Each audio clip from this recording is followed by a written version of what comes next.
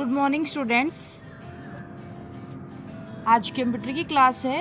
Computer की class में हमने कल के लेक्चर में एमसीक्यू किए थे चैप्टर वन की बैक एक्सरसाइज की। इट मीन्स पार्ट ए किया था। आज हम पार्ट बी करेंगे। Tick for true statements and cross for false statements हमें ट्रू स्टेटमेंट के लिए जो सही स्टेटमेंट है, उसके लिए हमें टिक करना है। जो हमारी फॉल स्टेटमेंट है, गलत स्टेटमेंट है उस पर हम क्रॉस कर देंगे। First is a computer works very fast एक कंप्यूटर तेज काम करता है, तेज़ी से काम करता है यस और नो यस करता है। यानी कि ये ट्रू स्टेटमेंट है तो हम टिक कर देंगे फ़र्स्ट में। Second is a computer always give correct result क्या कंप्यूटर हमेशा करेक्ट रिज़ल्ट देता है इट मीन्स सही से रिज़ल्ट देता है। कभी भी उसका रिज़ल्ट गलत नहीं होता। यस yes, क्योंकि कंप्यूटर हम हमेशा रिज़ल्ट क्या देता है? करेक्ट देता है सही देता है। हम यहाँ पर टिक कर देंगे।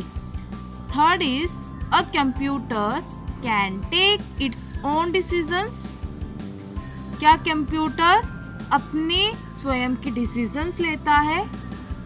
No no. नहीं लेता, क्योंकि उसे हम इंस्ट्रक्शंस देते हैं, उसे हमारे इंस्ट्रक्शंस की नीड होती है, तब वो काम करता है, वो खुद से अपने निर्णय नहीं लेता। इसलिए यहाँ पर क्रॉस लगा देंगे, क्योंकि हमारी फोर स्टेटमेंट है। Fourth is the C P U performs different operation on the data that is entered into the computer CPU perform करता है डिफरेंट ऑपरेशंस डाटा पर जो हम एंटर करते हैं कंप्यूटर में। यस yes, जो भी हम कंप्यूटर को इनपुट देंगे हम डाटा एंटर करेंगे कंप्यूटर में उस डाटा पर सीपीयू डिफरेंट ऑपरेशन क्या करता है परफॉर्म करता है क्योंकि सीपीयू में तो सब प्रोसेसिंग होती है। इसलिए ये ट्रू स्टेटमेंट है तो हम टिक कर देंगे। Fifth is a computer never gets tired और बोर्ड इट मीन्स कि कंप्यूटर कभी भी थकता नहीं है बोर नहीं होता।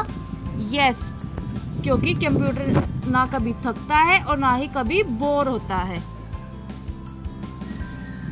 ओके okay, और हमारी ये जो कंप्यू बोर की स्पेलिंग है वो गलत है B O R E D आप इसको करेक्ट कर लेना ओके